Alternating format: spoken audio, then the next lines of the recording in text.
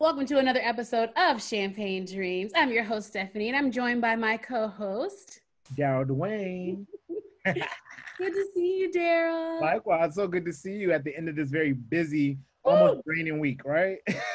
In a week, man. It's been a week. I feel like every week we say this, everything's so heavy, but you know, we, we we're gonna push through. I feel like, you know, obviously things are still going on. Um, in the media with the Black Lives Matter and all the arrests. And I'm glad certain officers are starting to be arrested or fired. And I, I know there's still more to be done, but I'm honestly slightly a little bit glad that some other news is starting to trickle in to kind of lighten things up a little bit. Though we're not making light of the situation, we just happy to have like a a side yeah. moment, you know. And, and I mean, we're going to always remind you that uh, Breonna Taylor's officers need to be arrested. Exactly. Taylor. However, it is great to have a moment to uh, sort of have the news cycle shift just a little bit to where we can still focus on the important things like right. Black Lives Matter. you see how I did that?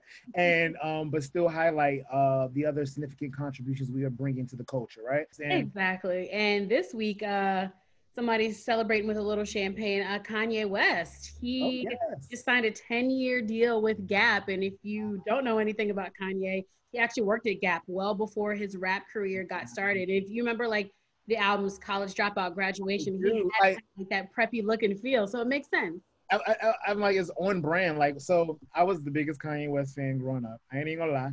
And so like high school, college, like I literally, whatever he wore in the GQ magazine that that, that uh, I went and found almost the exact replica because I couldn't afford Kanye's, you know, luxury life. I remember I was in college. Um, so, so, uh, but I would, and the Gap was my go-to, like the Gap. Mm-hmm. Um, also when I couldn't afford the Gap, Old Navy, you know. Um, but I think they're sister companies. So yeah, they are. Find, like you know things, and you made it work. You know, I, I made my wannabe Kanye West looks work for me on my Gap and Old Navy budget. Yeah. So it's kind of cool that now, fast forward so many years later, he's you know doing this. Right. And Yo, uh, 10 years? That's a so long deal. And, and I'm hoping maybe during this process too, like, you know, uh, Kanye from that timeline will make a reemergence, you know, like not knocking current Kanye. It's just, you know, well, okay, a little bit, you know, the, the, the, the the little Trump more woke part. Yeah, the Trump support part I can't get behind, and the whole slavery is a choice thing I can't get behind. However, everything up until that point, I'm, I'm you know, and lyrical content, he's still demand. So I, I, hope that some of that wisdom that he used to spit when he would just talk in his interviews prior to this whole Trump era and everything. I hope that that um that comes back with yeah. this reconnection to his roots for like I just hope that the stuff doesn't look like his Yeezy clothing collection. I mean that stuff looks like hobo wear. And I'm not going front. I have a pair of Yeezys like shoes. but in terms of the actual clothing, I'm like like three hundred dollars for a shirt with some holes in it. But I think with Gap being like on brand, what it is, yeah. I feel like it's it should be affordable and should look like clean and classic with like a little bit of you know Kanye flair. I, I, think we're going to, but then think about fashion cycles, right? So you think ten years, right? Every ten years, fashion repeats. So we think about College mm-hmm. Dropout and when that album came out, and yeah. we think about now where we're at, that fashion cycle. So he, maybe he's about to rebrand himself style wise as well. Like, you know, Yeezy was a moment, right? And sort of like, and I think it matched. And this is where you, where people say, you know, you can kind of see his genius. It matched uh, the timeline of everything being fast, everything being crazy, right? And then now mm-hmm. we're in this space where we're restructuring, even as people of color, to like focus our attention on things that matter to us, which means we gotta look the part. We gotta speak yeah. the part. So I think maybe he's coming full circle and yeah. fashion is his instrument to do we'll so. See. I can't wait to see some of those samples and see what comes out there. Like All right, said, so another rapper might have a collection coming out with Gucci, Gucci Mane.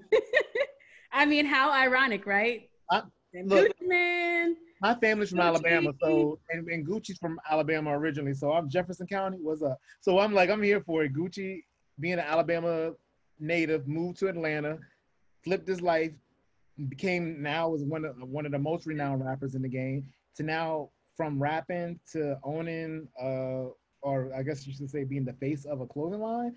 I'm here for it. Like, I, who is he being paired with? I don't know. Like he he like tweeted about it or Instagrammed about it, and he was like, "I hope like what they're saying is true." I guess they've been in some talks, but at the same time, I'm just like, okay, well, man is a very like, huh? Who is he? Who is he matched with? Uh, Gucci Mane is going to be the face of what brand? Gucci.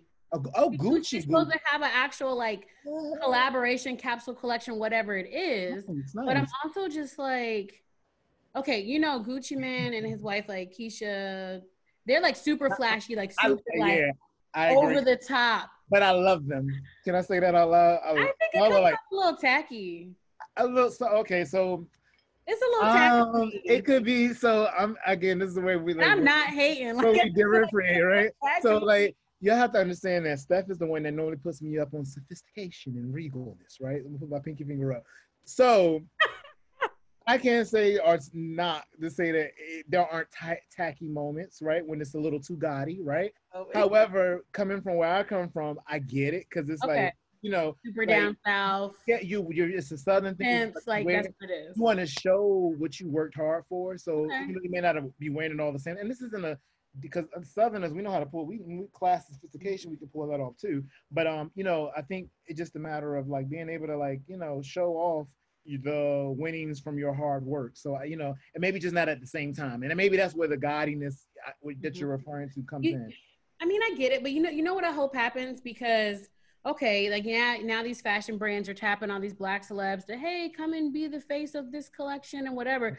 I hope whatever money that these these black celebrities are getting from these collaborations with these major um, predominantly white brands that yeah. they'll use some of that money to pour back into these black fashion brands that have been struggling for years oh. trying to make it and get on like there's so many dope flat fashion brands like the last couple weeks i've literally spent time like just purchasing a little item from here and there from black brands there's some dope stuff but they don't have the financial backing so yeah. yeah go to gucci is cool but imagine being the face of another brand and uplifting and bringing up their brand and now both of your your your brands align that's true. Even and even shining the light on those black brands that are doing successfully, right? Like you got your LaQuan Smiths. Like, mm-hmm. I mean, let's be clear, he's uh, making clothing for the Kardashians. Like, and and, and but you know, let's think about this, Darryl. Though, yes, that's true. Yeah. However, a lot the the average average black person or even person can't afford that stuff. That, like I'm talking about stuff that's affordable and attainable. That that's the issue. And I know a lot of times we all try to strive to get to the things that aren't as attainable. Like, yeah. of course, I love, I've seen some stuff in Gucci that I like or YSL, whatever it is, but yeah. you got to be realistic in attainability to the average working person.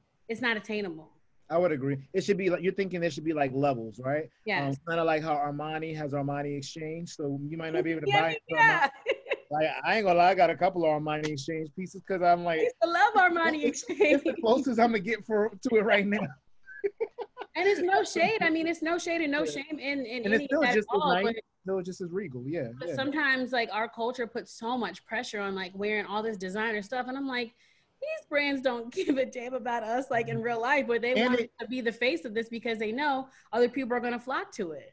And they don't pour that money back into the community. So I think like mm-hmm. when we, as these big artists are getting these deals, that's part of what they should be negotiating. Like, yes, I want my check to be, you know, this many zeros, right? I want it to be this many, right? But I also, on the same breath, want you to contribute uh, maybe 10%, 20% of the sales that I make into some black owned or establishment that supports people that look like me. Perfect example of this is um, Academy Award winner costume designer Ruth Carter, who I had the pleasure of interviewing a couple oh, weeks Ruth, ago. Yes, um, yes. So he, she has a collection with H and M, yeah. And in her negotiation with H&M, she said, "Okay, this is great. I'll do this, but y'all have to set up an endowment at my at my um, alma mater, Hampton University." And so they donated. I want to say maybe I can't really a couple hundred thousand. I can't remember how much it started with, but that was the deal that they they came up with. So you got to think about use leverage your power. The whole point of like when you talk about giving back and, and using your power for good, like yo, y'all want want a collection with me? Okay, y'all need to support my my HBCU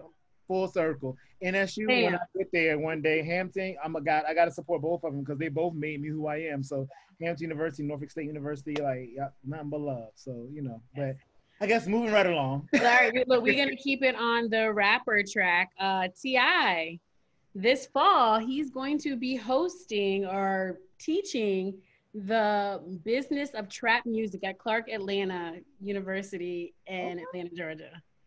Now, That's going to be a course. Is, is, is, he teaching like, because you know, not like I need to really know how. Nah, I'm not gonna say. I don't right, think but is he teaching the trapping part or the musical musicality and how we tra- eh, how trap is? Connected? I know, right? Is it like does the bacon go to bacon first, or does the water? No, I don't think it's gonna be that deep. Oh, okay. Like, hey, look, these are hard times. So, like, which one goes first?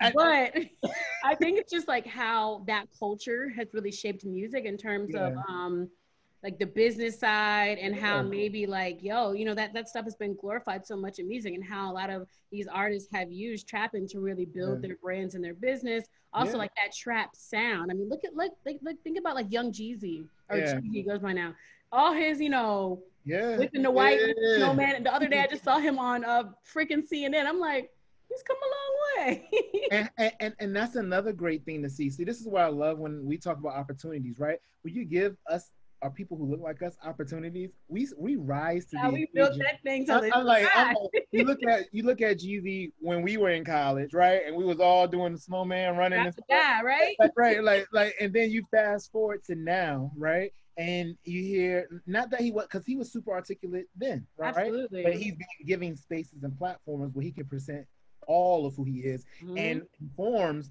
of people who would not necessarily be checking for him. So I right. love I love, love, love seeing our people come full circle. I feel like yeah. Juneteenth, like let, us celebrate year round. Let's make that right. a celebration.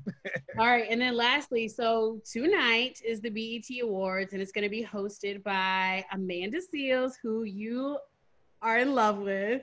You know I am. So Amanda, if you're watching. I know that I might not be the one. She's watching. She's getting ready to host the show.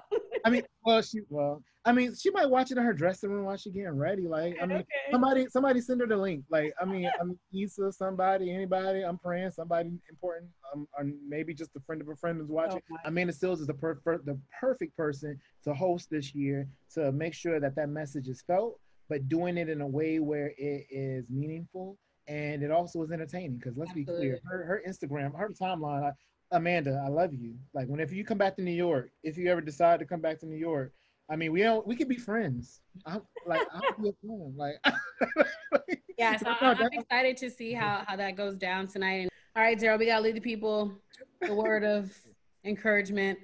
What's your word of the week? So, I'm probably going to go with because this has been. I always say it's been a week, right? I literally always say it's been a week, and it it normally is because we we we have the very difficult task of juggling not one career but two careers, right? our dream careers and the careers that we also love to do that support those dream careers. Um, and this is no knock to those who just have jobs. And we all know what we mean by that. So with that, why are you so shady?